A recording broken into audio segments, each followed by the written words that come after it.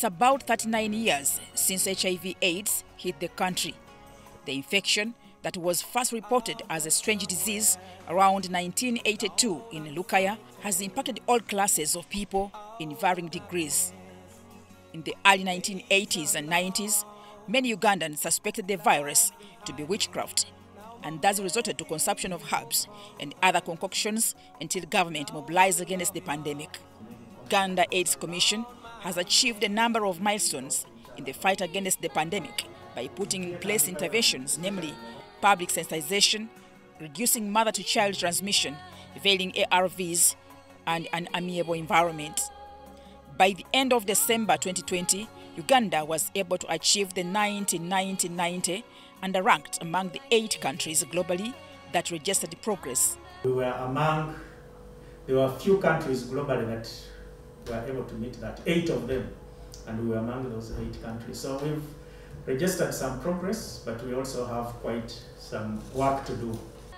The Director General Uganda AIDS Commission, Dr. Nelson Musoba, says that an estimated 1.4 million Ugandans are living with HIV AIDS virus, translating into 5.4%, a slight reduction from the previous 6.2% in 2016, with at least 1.2 on treatment. Uh, there is an ongoing uh, population-based survey by the Ministry of Health, but from our previous estimations, we don't think the results will be far different. So this is this shows a reduction from previously 6.2% uh, that was that was computed that was found in 2016 by the Ministry of Health. Of the new infections recorded, 14,000 of those were young people between 14 and 24 years. But, um, the, the, prevalence is, is, uh, is uh, the new infections are tipped very huge proportion amongst young people of that age group, but also uh, disproportionately higher even amongst the females. Uganda AIDS Commission also estimated that about 22,000 AIDS-related deaths occurred in 2020, a slight increase from the previous year where 21,000 reportedly died. And uh, also a slight, uh, the, the HIV infections amongst children below 14 years was about 5,300, which, which is something that shouldn't happen because we know if there is an HIV pregnant mother and she attends antenatal in a timely manner, follows instructions of the health worker and swallows her medicine, delivers with uh, within uh, trained, skilled hands, and follows the instruction after that for postnatal, you can prevent your child from getting HIV. Children born with HIV AIDS reduced from 25,000 between 2012 and 2013 to less than 3,000. We should have wrapped this up. No child should be born in Uganda with HIV. The data clerk at the AIDS Information Center Kisenyi, Nablo Claire attributes the increase in the cases, especially between 2019 and 2020, to the first lockdown. Say, for example, uh, the sex workers here in Kisenyi, eh? the vulnerable adolescents. You could not reach them with the health information, how to protect themselves from getting HIV, um, commodities. You could not supply the condoms. Why? Because we're all under lockdown.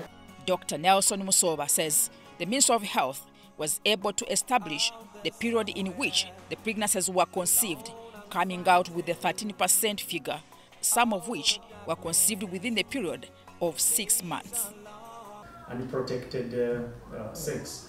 We've not segmented in that data, uh, you know, how many of those uh, infections were within the COVID period, but we know certainly, like you've said, a proportion of them were as a result of COVID because the children at home, if we use pregnancy as a proxy, uh, a, a, good number of those Uh, are uh, attributable to, to COVID. Yes.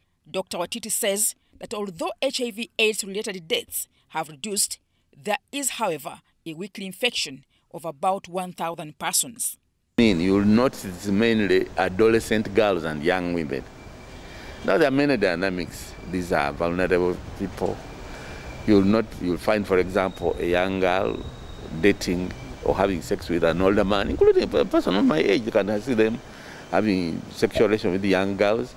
Not that they want to marry them. About two decades ago, an HIV AIDS patient would swallow 17 tablets per day, meaning in a week, one would swallow 119 tablets, 510 tablets a month, and 6,205 tablets a year, turning the body into a cocktail of drugs. I had nasty side effects. I experienced them. They talk about long-acting ARVs, which can be given as injections. Currently, the Joint Clinical Research Center is conducting research aimed at endorsing injectable drug to save Ugandans from the stress of swallowing tablets. HIV vaccine trials we've not been as uh, successful and as quick as it was for COVID, for instance. And the main reason is the complexity of the HIV virus. The HIV virus is very complex. It mutates very, very highly all the time. And uh, all the trials that have happened so far, the efficacious levels are too low to subject them to, to you know, before a virus is brought as Uganda commemorates World AIDS Day under the theme End Stigma, End AIDS, End Pandemic. The memories of how a mysterious disease killed people in the early 1980s are still fresh in the minds of most Ugandans. In the 1990s, for one to have HIV AIDS was as good as a death sentence. However, Uganda government crusade against HIV AIDS and creating a conducive environment for the affected and infected reduced the lives of infection, making many people accept their situation. Uganda AIDS Commission has now come up with interventions to ensure people test and found positive are enrolled on medication. Uh, about uh, effective communication, you know, designing messages, especially targeting young people. Our uh, old ABC is still working and we use it. It is very important. One, is that it enables that one, the HIV positive person, to live normally, to live what we call positively and be productive, you know. If they are teachers, if they are journalists, if they are doctors, they will live a normal life, do their work. Uganda AIDS Commission was established by an Act of Parliament under the Office of the President to ensure a focused and harmonized response towards the fight against HIV AIDS blight in Uganda. The Commission's boss is optimistic that the 95 95 95 target will be achieved by 2025 and by 2030 the country would hit 100% in all categories. Mutonyi Helder, UBC.